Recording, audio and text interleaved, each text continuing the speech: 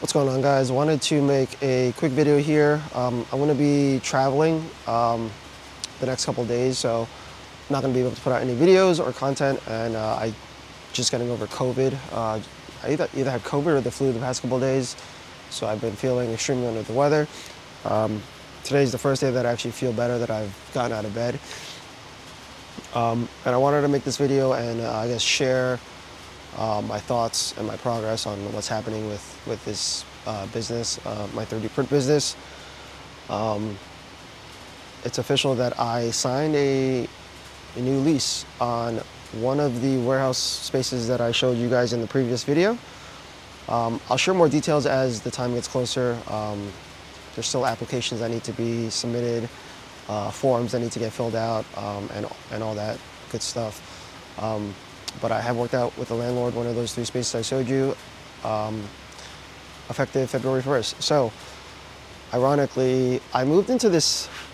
I moved into this space February 1st. So on my one year anniversary of moving the print farm from my basement to this 2,000 square foot warehouse space, uh, exactly one year later, I'll be moving out again. Um, I'm kind of dreading that whole process of moving everything into out of the space into the new space.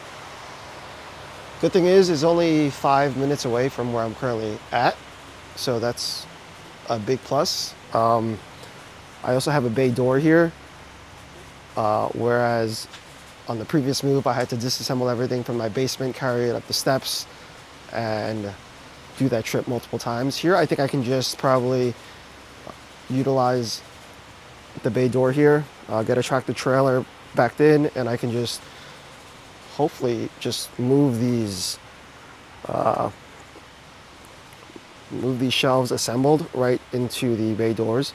Um, aside from that, I'll be using movers. Uh, that's the whole plan. Again, I'll try to document this as best as I can. And so yeah, uh, very excited. Um, I already told Evan. Um, again, nothing's actually been set in stone yet. Um, still working with the uh, landlord about the lease and finalizing the, the lease and whatnot. Um, but it's going to be an interesting, interesting uh, next couple of weeks, especially in February. Um, unfortunately, I don't think I'm going to be doing too many uh, Valentine's Day prints right now, uh, just because I've been sick for the past week. I'm going to be traveling for the next couple of days, and then I have to work, do work on the lease, um, and then finding out logistically how to handle all this stuff. I will be moving other things into that warehouse space for now. So this, the entire space won't be used primarily for 3D printing. Um, again, we'll get into more of that in the next couple of weeks.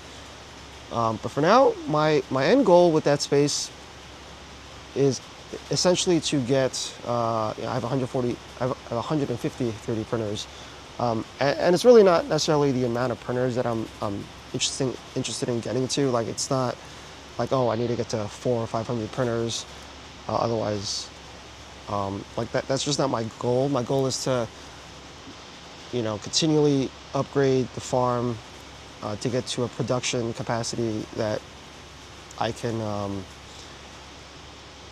justify, right? So I'm going to be doing a lot more on my website. I'm going to be doing a lot more on Etsy. Um, I stayed home all day yesterday, uh, looking at our trying to figure out what the hell is going to happen with TikTok. I was listening to the Supreme Court arguments and all that stuff. Honestly, I have no freaking idea. I guess we'll find out in the next couple days since they have, what, eight days from today to decide.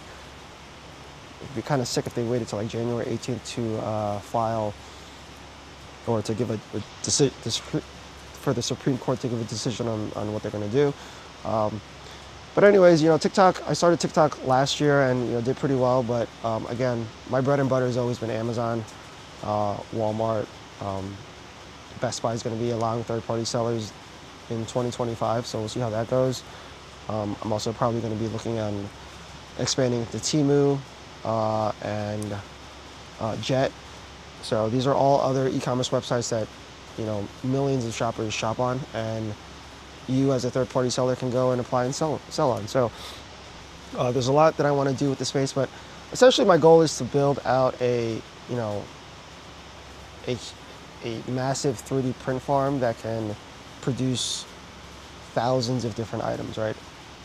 Uh, if you look at my SKU count for 2024, I mean, it was it was expansive from what I had in the previous years, but we're probably made, we're still under probably 100 SKUs, I would say, if you look at if you don't include the sizes and the color variations, I think we're only at maybe like 50 different unique products that we were constantly selling throughout the year. So, like, I want to get the number up to a thousand for 2025, right? Maybe hire uh, uh, in-house designer to help me with listings, an in-house catalog team to help me with getting listings set up on uh, Etsy and all the uh, other marketplaces. Uh, if you are an online seller, you know that it's very tedious. Uh, you can use third-party um, platforms to integrate all your listings into one space, but it is very expensive. Um, I think at that point you're still better off just hiring somebody internally that can help you uh, do that. Um, but we'll see. Uh, we'll see. So far, the plan is to again just continue printing what we have for now. Um, I love these new dragons, by the way. This is uh, our rose, or yeah. These are a couple of our new dragons that we've been printing the past couple days, or in the past couple weeks. Uh, this is from Layers in Green. So this is her one variation, and then this is the other. And again, we choose uh, these colors ourselves. Um, they also just came out with like a, a Valentine Day themed one. Um, yeah. So if you are interested in uh, what's going to be happening with this print farm in 2025, follow along. Um, you won't be disappointed.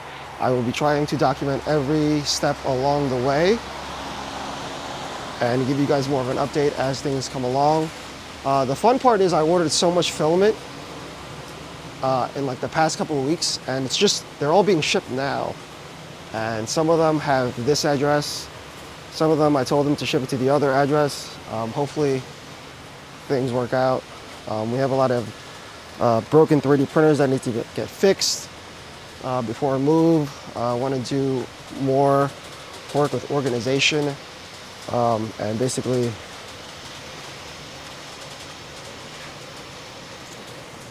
look at that.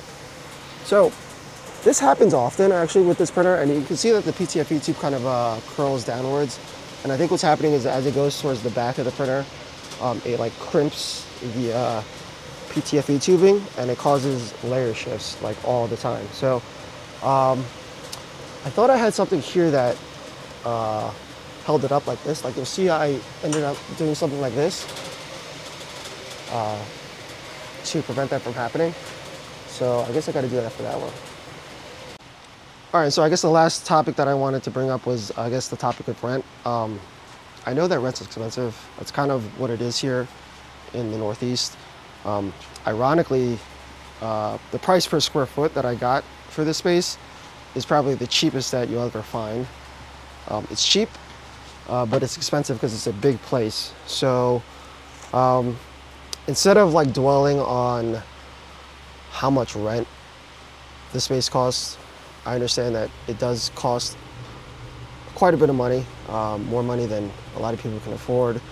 Um, I'm more focused now on finding ways to increase top line revenue for the company um, so that the rent doesn't play that big of a factor on your you know P&L.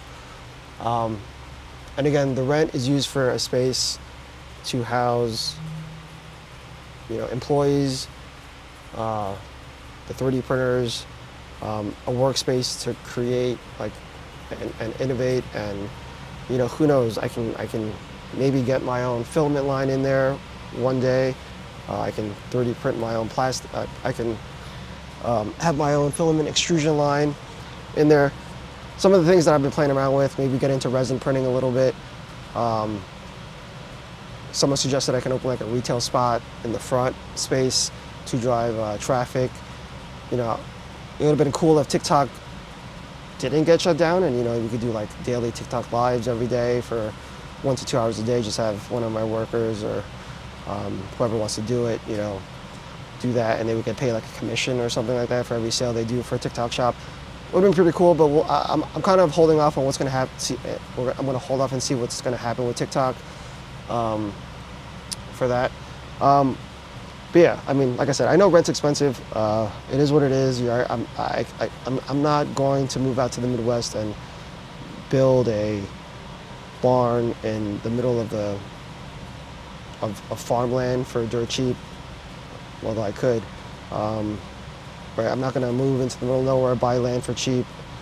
It, like, right? I'm, I'm kind of stuck where I am, right? I have a family, I have kids that I have to raise, and so instead of worrying about, like I said, instead of worrying about rent, I'm more worried about more ways to bring money in for uh, for that space uh, to give my um, employees, you know, a healthy and stable income so that they can live their lives and eventually, you know, when they do something else, if they wanted to do so, um, buy a house, start their own uh, company, whatnot, right? Uh, yeah, we'll see. Um, that was kind of it. I just wanted to make this a quick video and wrap up my thoughts. Um, and I'll see you guys probably uh, sometime next week. And I'm going to be out of the country for a couple days. Not out of the country, really. I'm just going to be traveling up up north. Um, but yeah, I'll see you guys in the next video.